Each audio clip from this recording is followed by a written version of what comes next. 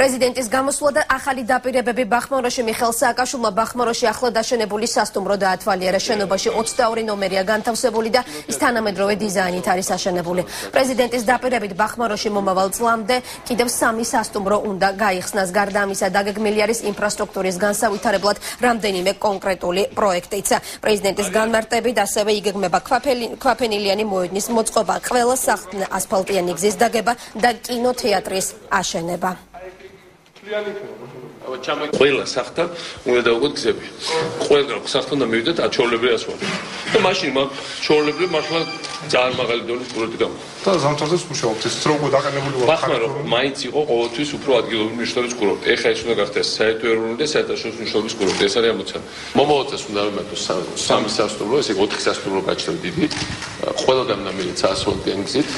უნდა დავუმატოთ მოედანი საჯარო შეკების ბავშვების საუზი და შესაბამისად პატარ-პატარა რაღაც ატრაქციონები.